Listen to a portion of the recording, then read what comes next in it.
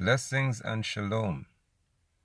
What a wonderful morning it is. This, of course, being the continuation of the day that began yesterday or last evening at sundown. Yahweh is faithful and his mercies endure forever.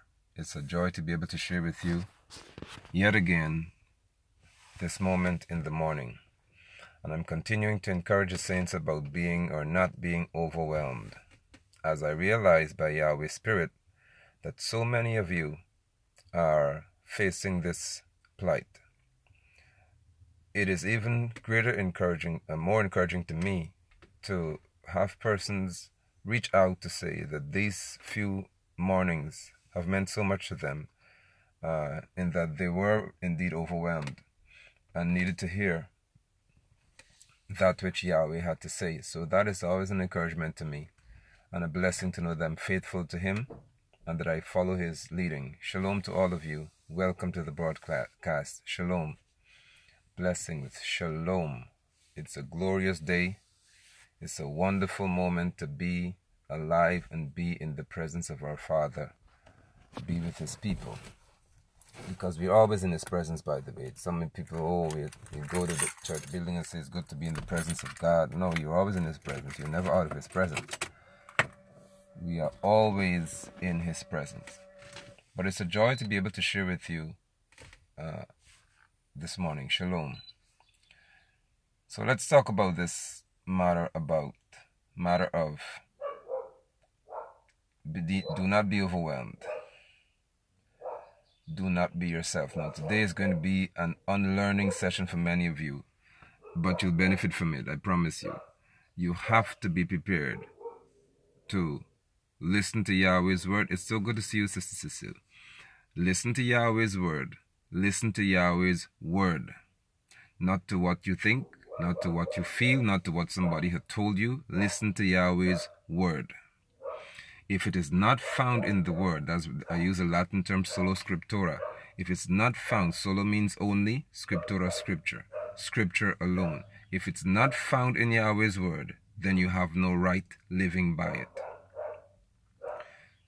Do not be mm-hmm. overwhelmed. Today I'm here to tell you thank you for sharing, Sister Natalie. Do not be yourself.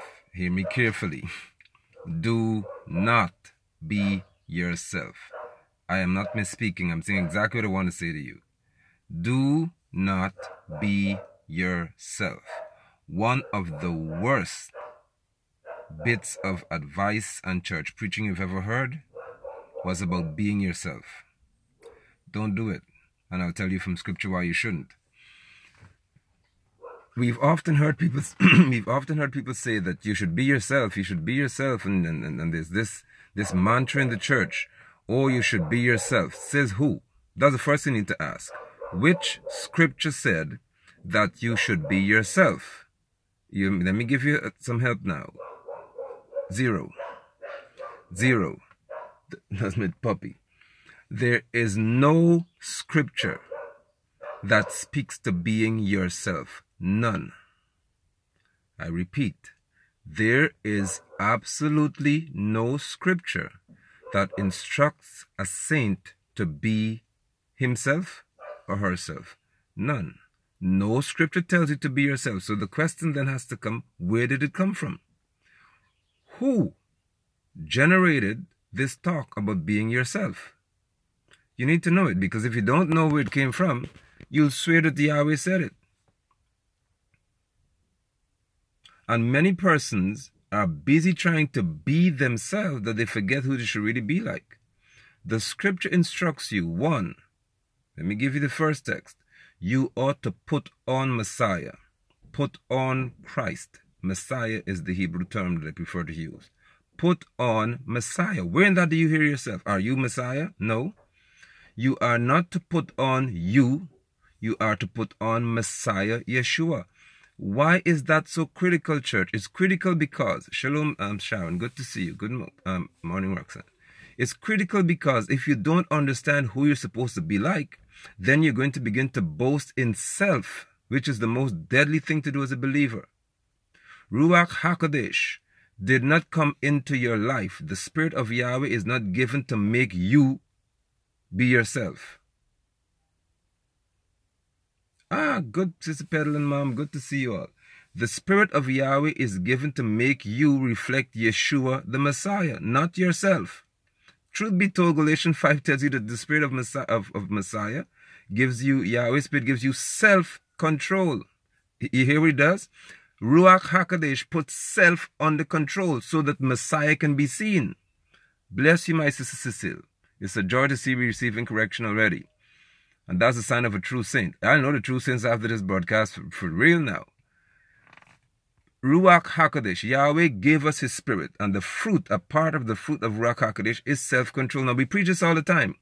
Galatians 5, we preach it and we scream about it. Yes, the Spirit gives us self-control. What is self-control, though? You put self under control. Why? Because being yourself is dangerous to being like Messiah. Philippians 2, let this mind be in you, which was in Messiah. What did, what did Proverbs say through Shlomo? As a man thinks in his heart and his mind and his live, so is he. So if your mind is Messiah's mind, then your actions will be Messiah's actions. It's that simple. But if you're thinking about being yourself, where's room for Messiah? We are not supposed to be ourselves because who we are was not good enough for salvation. Don't forget that. While we were busy being ourselves, we were lost. I hope you remember that. While we were being ourselves, we were lost. We were destined for destruction in the context of, of, of what the preacher says. We were, we were enemies of Yahweh's. That's a better way to put it. We were against Yahweh's work when we were being ourselves. When we were being ourselves, we did not know Him. So how could you now be saved and still be yourself? Shalom, Sister Michelle. Good to see you. I long to see you all on Sunday. I can't wait. The trouble comes when you begin to say, okay, so should I be like him? Should I be like her? Let me give you the second point then. Scripture also says through the Apostle Shaul, and this is very, very careful, critical here. He said, Follow me as I follow Messiah. He said, Mimic me, be imitators, mimic. That's where the word came from. Mimic me as I mimic Messiah. So do you realize now that you are supposed to be like Yeshua? Eileen, good to see you, my sister. Blessings.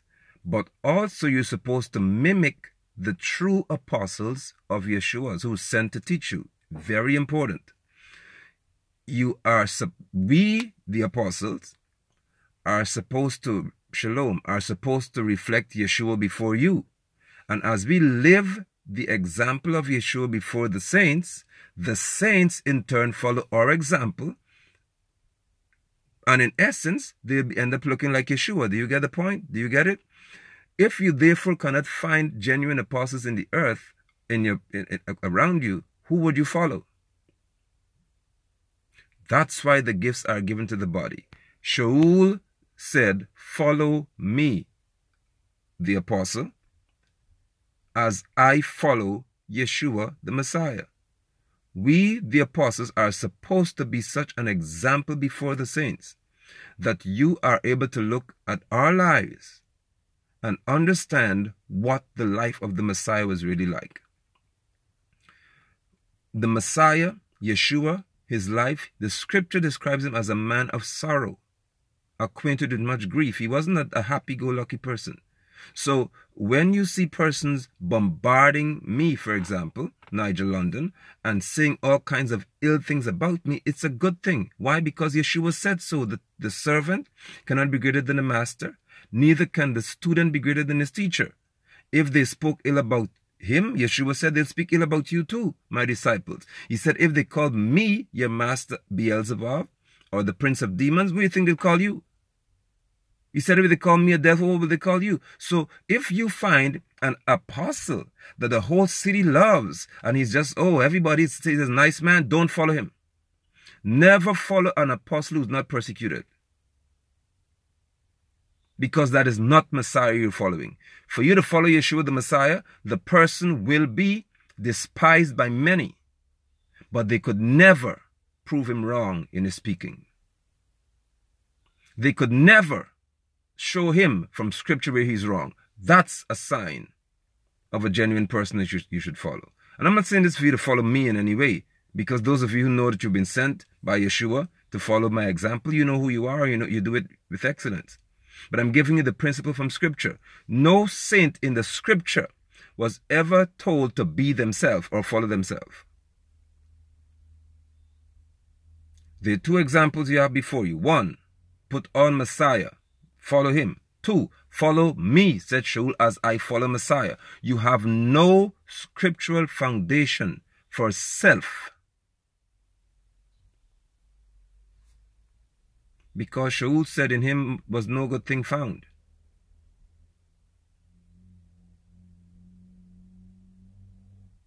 And persons are overwhelmed because, in many cases, I've discovered, being yourself is not even who you want to be. Some of you know when you hear the truth that who you are in reference to what you've just heard is not right. But all your life you've been boasting of being yourself. So what do I do now? Because I know that I have to change. But I'm also told by Oprah Winfrey and all these different preachers that I have to be myself. So, um, what do I do now? Because this is not who I ought to be. And if you listen carefully to some persons who say, Well, I am myself, you can hear the human arrogance in it. Good to see you, Trish. You can hear the human arrogance, the edge of well, nobody could make me be different. You are supposed to change by the power of Yahweh, by the power of His Spirit. If ever you remain yourself throughout what you claim to be a walk with Yahweh, you're lost. Don't you sing don't we sing songs? Oh, I, am I'm, I'm changed in His presence. What does that mean? You can't be changed and still be the same person. Apostle Larry, good to see you. Blessings and shalom. When Yeshua came from the mount of after dealing with Hasatan, was the first thing he said, repent. Change your mind. Why? Because I told you, Philippians 2 said it. If you have the mind of Messiah, you're different. Proverbs, it said, as a man thinks in his mind, so is he. If your mind is different in Messiah, Yeshua, of course, your behavior becomes different. You begin to reflect the nature of Messiah in your everyday walk. But it cannot happen if you, if you remain in a shell called self. Change. Repent. Turn from being that which you were never called to be, which is self centered if your if your conversation, if your manner of speaking is not like Messiah, change it. And Messiah was never a wimp. So don't think I'm coming on a pretty little soft egg attitude here. Messiah was tough enough to say it as it is. That's who you're supposed to be. Some people, good morning, Bianca, good to see you. Some persons are so caught up in trying to be nice that they forget to be like Messiah. Yeshua, the Messiah, was not a nice person. He was a holy person. And he is, as a matter of fact. I'm talking was in terms of when he walked the earth. Yeshua was never in the flesh, when he walked the earth, a nice person. He was holy. He was true. He was upright. He wasn't soft and nice. Which is why even after being complimented by people, rebuked them. Don't forget that. Even after, for example, with with with with uh, Kepha said, "You are Messiah, the Son of the Living God, Elohim." Yeah, great, sounds good. He said, "Man, flesh and blood didn't give you this revelation." That's a compliment. It was revealed to you by by. Good to see you, Moshe. It was revealed to you by my Father in heaven. Wow, wonderful. But you know the next thing Yeshua told him a few days after that. Get behind me, Hasatan. For you care more about the things of the world. Do you see? Do you see that? After Kepha was complimented, he was rebuked. In being yourself, you do not have to be a nice, wonderful, soft person. Be like Messiah. Neither do you have to be crude unnecessarily. Be like Messiah. Be being meek doesn't mean that you're soft and you're stupid. It simply means it or gentle, it means you know when to do what.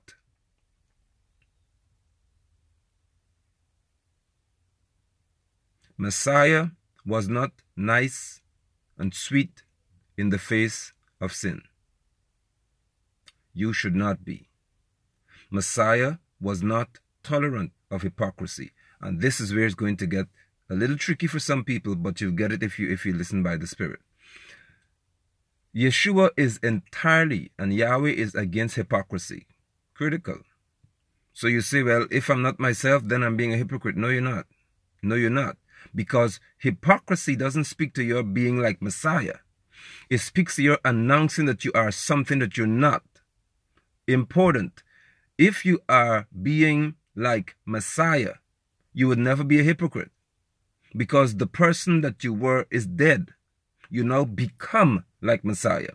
Shaul said, I live, yet not I, but Messiah lives in me. If Messiah lives in you, then the old you is dead. If any man be in Messiah, he is a new creature.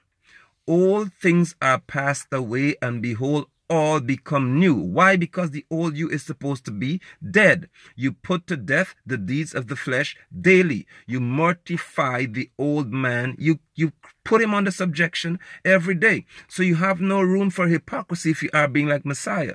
Hypocrisy occurs when you are not being like Messiah, but you announce that you are something. Messiah was not a hypocrite. Want me give you hypocrisy? Hypocrisy is when you try to be nice, when you know that you're not. If your thoughts towards me are mean, but your words towards me are nice, you're a hypocrite. And that's what we have a lot of people around. Oh, Apostle, you're such a man of God. I like how you teach on Facebook, but then you hate when I when I address sodomites. So what are you? Oh, bless you, you're such a great man of God. I love the way you preach. But when I speak against sin, why does he have to talk like that? You're a hypocrite. You cannot love me but hate what I say.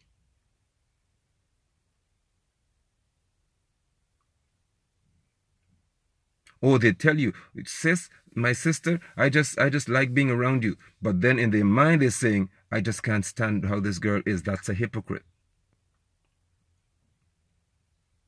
They say what sounds godly so that you can consider them to be righteous, but their thoughts are ungodly. That's hypocrisy.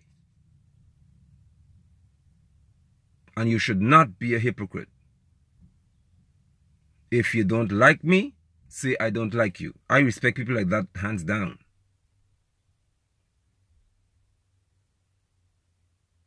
But in the church, as we call it, there are too many people who are being encouraged to be. I have heard preachers from the from the good to Sister Al, from the from the pulpit saying, "Be yourself. Don't be like anybody else. Be yourself." I've said it in my lifetime too, but I've, I've repented of it because I wouldn't say it anymore ever. We should not tell anyone to be themselves. Be like Messiah but how do you get there? You follow his apostles' example. So if there are apostles around you, called apostles, and they are selfish, you're in trouble because you're going to follow a selfish example. If there are apostles around you who claim to be apostles and they are weak, you're in trouble because you follow a weak example. You are supposed to follow somebody who looks like the Messiah you've read about, who speaks like the Messiah you've read about, who stands against wickedness like the Messiah you've read about. If you cannot do that, you are following an erroneous person who is fake.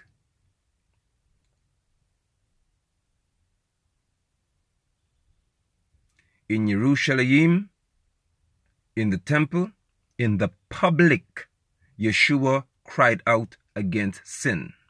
How do you have apostles and prophets and prophetesses and whoever, whoever it is and their followers being against me, who publicly by demonstration cry out against sin. What are you dealing with? They are busy being themselves. They're busy being who they like, which is themselves. They're not busy being Yeshua in the earth in terms of their behavior. If you follow a genuine apostle, he will do what Yeshua did. Yeshua was in the temple, which is a public environment. He was shouting against Yeshua's behavior. He said, Y'all don't know me. That's why he told them, you if your father has a son. Where did he say it? In private room? No, he said it in public. He had no issue telling them in public they were wicked. He said, had you known Avram, you would not fight me. That's a public protest to their behavior. But the apostle and his wife, and the bishop and his, and, and his wife, are against us going to the public against homosexuality and against wickedness. So who example are they following? Whose example?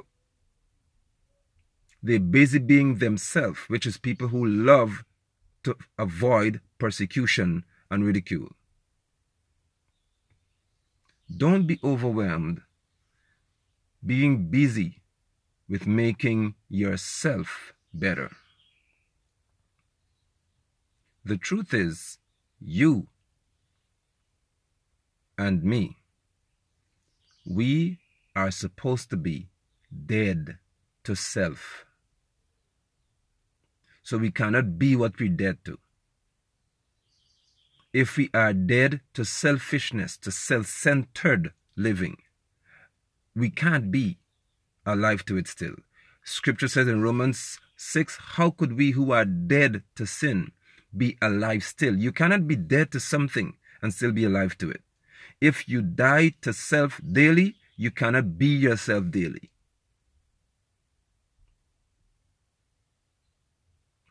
If you want to be yourself, some of you, you'll never forgive people because they hurt you too much. And they hurt self too much. See, they hurt you, which is self. And because they hurt you so much, you have a difficulty forgiving them.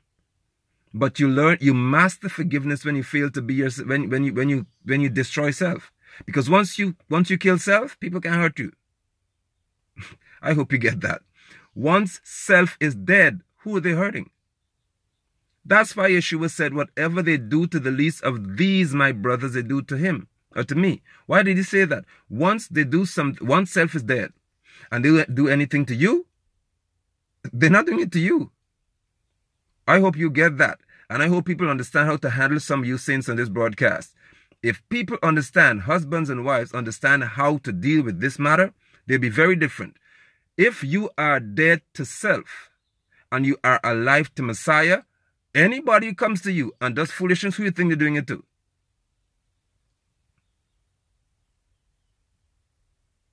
So it's easy to forgive when self is dead.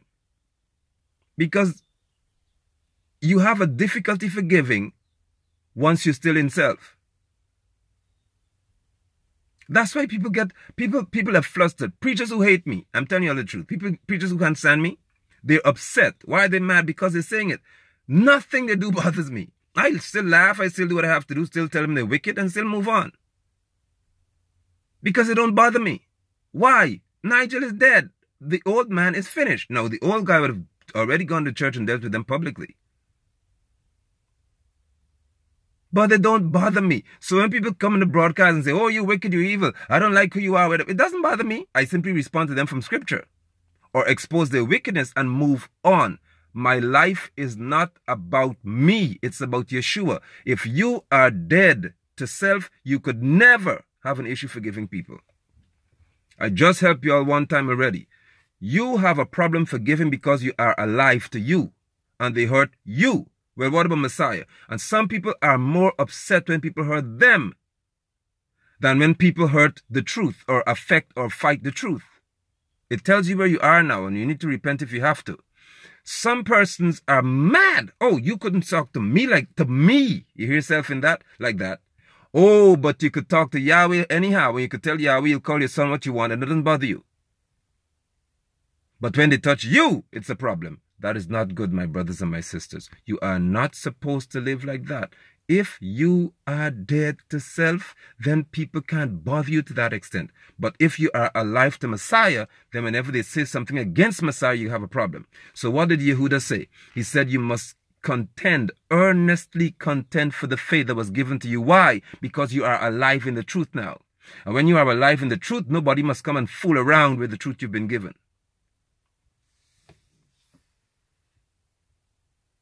I pray you get this.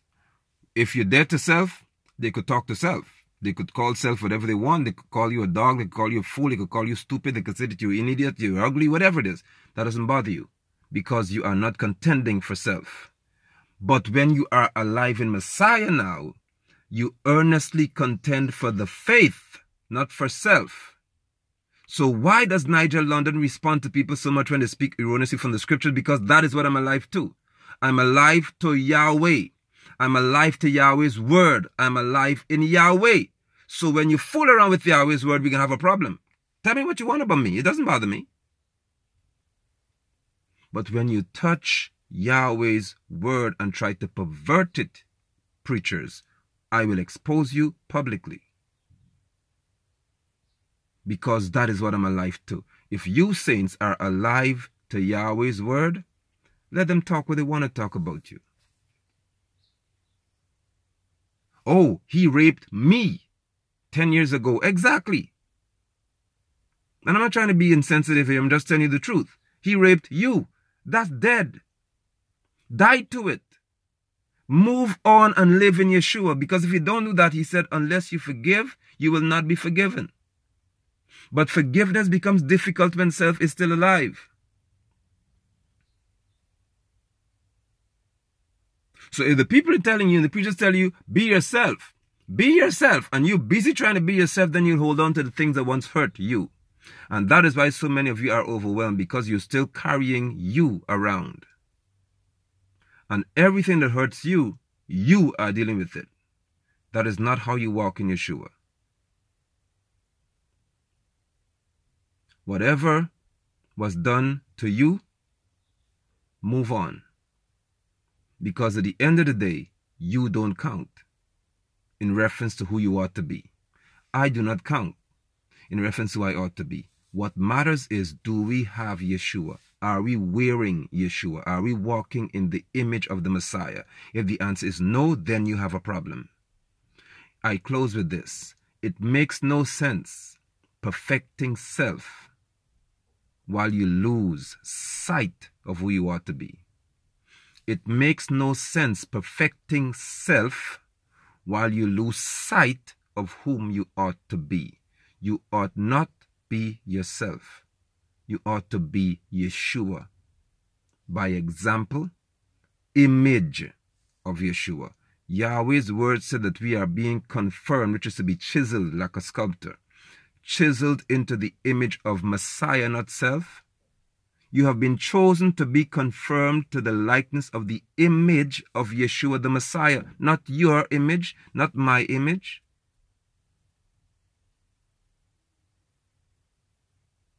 Good to see you, Pastor Mel.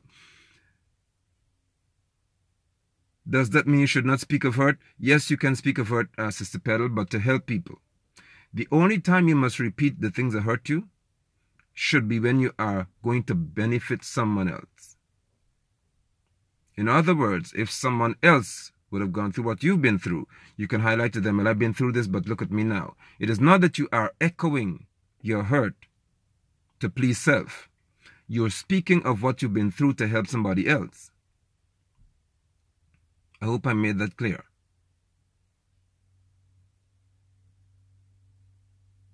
Do you forgive the person if they act? Yes, you should. Forgiving the person has nothing to do with them asking for it. It has everything to do with your being commanded to do it. And forgiveness does not speak to being all buddy and bosom friends with anybody. Forgiveness simply means you've released the person of the wrong they've done so that you can free yourself and you move on. You do not return to a destructive person because you forgive them. Some of you women need to hear that. If a man has hurt you, and continued to hurt you, you walked away from the relationship, he says, please forgive me, or he doesn't even say forgive me. Release him, forgive him, and move on. If he comes back to you to say forgive me, doesn't mean you return to him unless he changes his behavior. You never return to a person who continues to hurt you because they ask you to forgive them. The truth is, only a genuine person can ask you to forgive them. Indeed. I hope somebody's getting this this morning. Only a genuine person can really ask you to forgive them. Many hypocrites ask for forgiveness not because they want you to forgive them. They just don't, they just want to have access to your life again. So they don't have to ask you to forgive. There are many people who do wrong to me, and I don't I don't even bother them with them. I move on, and that's it. That's good, Trisha. Good question. Does forgiveness need to be announced? No. I know people like to get on broadcasts or get on Facebook. I forgive you. I'm sorry. You text the person, I forgive you. You did wrong to me 10 years ago. I forgive you. No, you don't have to do that. Because forgiveness is more about your action than it is about your speech.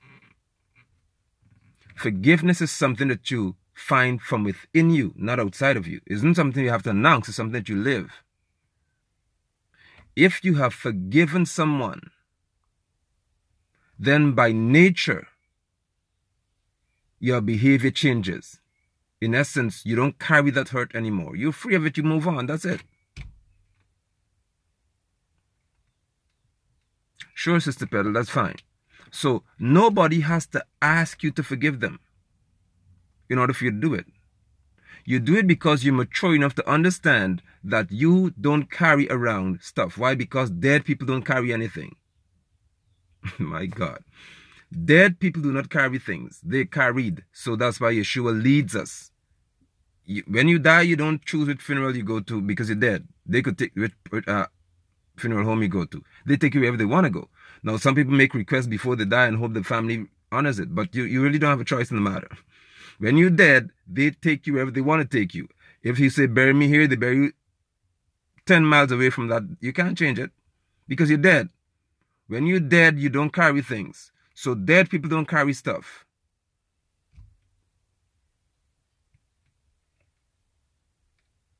Bless you, Sister Al. Dead people do not carry things. So as long as you're dead to self, you don't carry things around anymore instead. You let it go and you move forward. My hope and my prayer is that you have learned and I can see on the broadcast that some of you have received the correction and the instruction. I'm so, so, so glad about that. Amen. You are not supposed to be yourself. You're supposed to be like Yeshua the Messiah. That is the standard. How do you get there? Follow the apostles as they follow Yeshua. But with Yahweh's Spirit inside of you, you will know when, when they're going wrong. Don't follow error. Ruach HaKodesh will never instruct you to follow error. Yahweh's Spirit will never instruct you to follow what's wrong. So don't tell me, but God sent you somewhere you can't leave. You, if ever the apostle or whoever it is doing wrong, leave them. You are not to follow what's wrong. Because Yahweh is going to judge you for it. I'm telling you this as a, as a caution. Be careful. If you are in a fellowship or church, whatever they call it, and you see the teaching is not right and you know it's not right, leave because Yahweh will judge you for remaining in what's erroneous.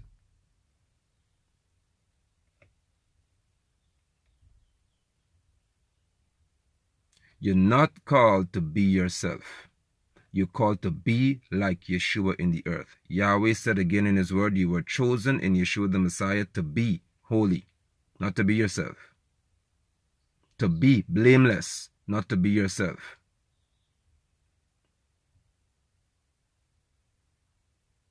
Put on Messiah. Wear him. And watch how things around you will change because it will get hot in a minute. But if you're wearing Messiah, it doesn't bother you. Shalom. Blessings. Love to you all.